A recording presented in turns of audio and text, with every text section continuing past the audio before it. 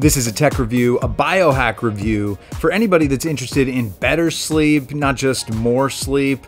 I am laying on what is essentially the Tesla of beds. This is the Pod Pro from Eight Sleep, and it includes a mattress, a topper that has all the sensors that measures your heart rate and your breathing, whether you're in REM sleep or you're tossing and turning. This thing vibrates. It's a vibrating bed. Not that kind, it's an alarm clock. It heats and cools you, dual temperature zone control for two people's preferences. The topper has like an umbilical that attaches to this hub, and the hub connects to your phone. Okay, why don't we move this party somewhere with slightly less of a porn vibe?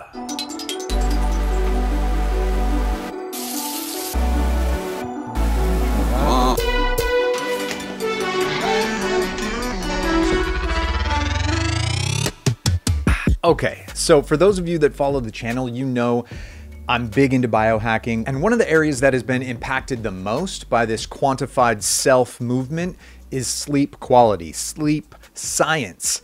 And Eight Sleep is the front runner far and away just like tesla collects all the driving data from the cars 8 sleep collects all this sleep data and uses ai to crunch the numbers and figure out exactly what makes you sleep better. Hey, real quick, this is not gonna be an infomercial. Yes, Eight Sleep did send me the bed, and I will make a commission if you use my link below, and that'll save you 100 bucks as well. But I'm not gonna go into every detail, heart rate, variability tracking and why you should care about that. There's a website for that. I'm just gonna tell you my experience, tell you a few things I like about the bed, a couple of areas I think it could improve, and you can make up your own mind. This is not a sales pitch. Okay, back to the, yeah. So the mattress comes all rolled up like a lot of memory foam mattresses do, and then you get a separate box with the pod and the topper in it. There's some, I guess, these are the tubes for the water cooling or heating and a fan. So I hope this thing doesn't get too hot. Okay, uh, that was pretty painless. This is bright. It's a little bit smaller than the other king size bed that we had in here. And it's like super way cushier, which uh, I'm not sure if I'm gonna like. And they've got a bunch of really easy to follow videos in the app. And most people whose bed is not up in the wall, it's just gonna be really easy. Of course, with my special circumstances, this studio is the bedroom. Let me show you. This is the hose that connects to the head of the bed there. And it needs to come out and connect to this. If I close the bed, this is the crevice. Like there's no way that hose is coming through there. So I had to whip out the man skills, break out the tools. I got this thing that it vibrates so fast, it just, it pokes holes in things. It's cool. Is this what these were originally for? I'd rather have regular eyewear. The smell of burning wood, I actually love it. it. It was like an added bonus, helped me sleep.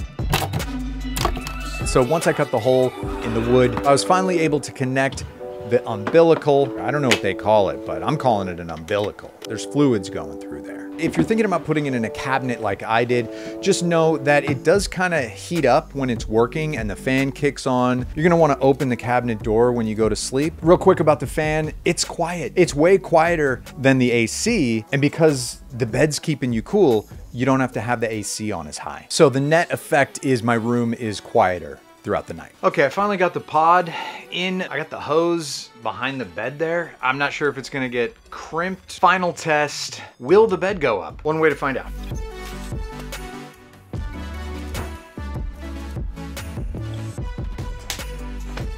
Good enough. At first, it's real soft. You're like, oh no, this is the softest mattress I've ever had. But After a few hours, it firms up. And then after you put the topper on it, that adds some extra firmness as well. And once you fill the topper up with the water that goes through the tiny little tubes like a radiator, that actually firms it up even more. By the time I was sleeping in it with the water in it, that was where I was finally satisfied with how firm it was. I like a real firm mattress. All right, let me quickly tell you five things I love about this bed, three things it could improve on, and whether or not I'm gonna keep using it. Here's the things I like. Number one, temperature control. Dual temperature control. Ooh, I don't want to be cliche and say game changer, but game changer. First of all, I didn't think it was gonna be cold enough. I thought there's no way in hell this thing will get cold enough. So I set it to the very coldest setting. The app was like, Are you sure? And I was like, Yes. But it got so cold, I couldn't sleep. I had to keep setting it higher until I finally fell asleep. So trust me, you'll never use it on the coldest setting. It really works. I couldn't believe it. I can tell, but I can also see in the data, I'm falling asleep faster. I'm sleeping deeper into the morning. Plus, we don't have to have the AC on as high, so we save money. And Chanty and I sleep at much different temperatures, so we can both dial in our perfect settings. Temperature control, top of the list. Number two, the vibrating alarm. It's amazing. Instead of hearing Chanty's phone erupt with the same music every morning, sometimes I don't notice it and I sleep right through. That was not happening with her phone alarm. It's also nicer to wake up with a gentle buzzing. And the other thing apparently you can do, I haven't tried yet, but you can connect this to Alexa and when it senses that you're kind of waking up, it'll turn the lights on. So I'm gonna hook that up soon. I think that's cool. Number three, you don't have to remember to turn on your sleep tracker. So, you know, you can just pass out drunk and still get the sleep data to see how that affects your sleep. Very important for me. I've been using an app called uh, Sleep Cycle, and it tracks a bunch of the same stuff. Uh, it doesn't get your heart rate variability and whatnot, but Eh, sometimes you forget to turn it on and then you just miss the data. Number four, it gives you recommendations. So when you're setting the temperatures, it'll tell you people like you tend to fall asleep faster at this temperature.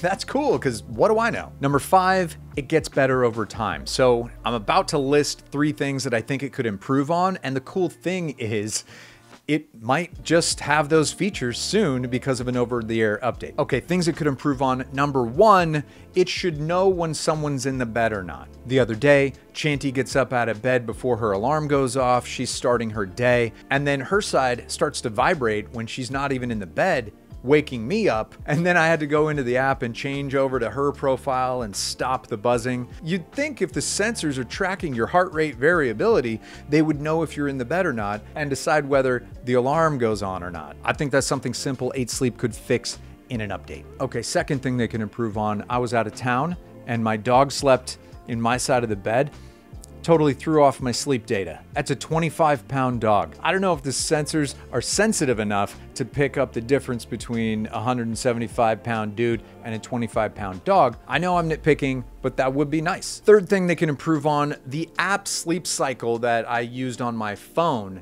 had a cool feature where it recorded your audio if you were snoring or coughing. And there was more than a few times where I had a weird dream and talked in my sleep, and it was kind of funny to listen to it the next day. I've woken up with a joke idea and just set it into the air and it recorded it. I know that's way overkill for a sleep app, but it would be easy for them to include. Final thoughts Am I going back to my old mattress?